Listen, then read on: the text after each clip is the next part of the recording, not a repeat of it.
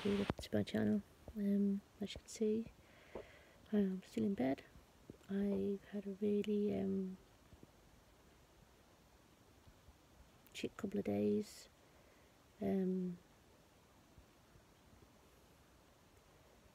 I've been feeling very tired. Um,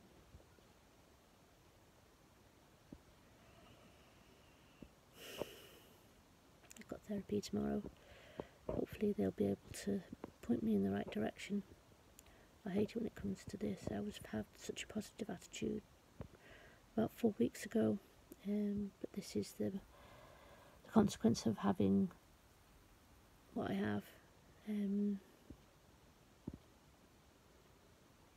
yeah, everybody that suffers this will know what it's like to feel so overwhelmed by your condition that you just don't want to leave your bed or leave the house or do anything.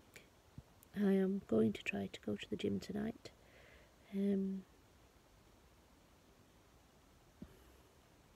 yeah. So, um, if I do, I will, it will have to be. It will be after this video. Okay.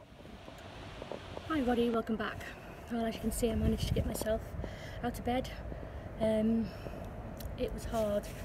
Um, my anxiety rules me unfortunately. It tells me when I can when I cannot go out.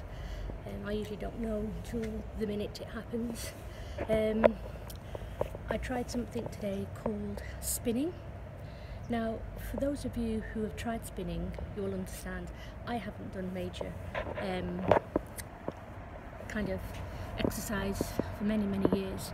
So I got went on the bike and tried to do uh, spinning well my leg bones and my muscles didn't like it at all. I just I did it for half an hour um, but I didn't I couldn't stand up. My knees wouldn't let me um, probably because of all the weight I've got to move and also um, I've not usually used my knees like that because I don't bike very often anymore. So that's something I need to work on definitely. I think in a year's time I'd probably be able to do that with, um, with some ease but at the moment it's incredibly difficult um, I have got spinning tomorrow, but I'll probably cancel that because I didn't enjoy it. Um, and the seat was comfortable. It hurt me bum. So yeah, um, it's turned out to be quite a nice day here. It's this nice and blue skies.